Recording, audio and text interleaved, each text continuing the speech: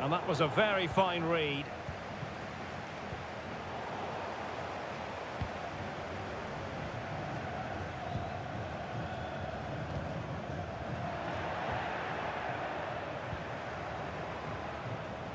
Oh, the threat is there. He just needs to stay level-headed now. And able to close down the shots.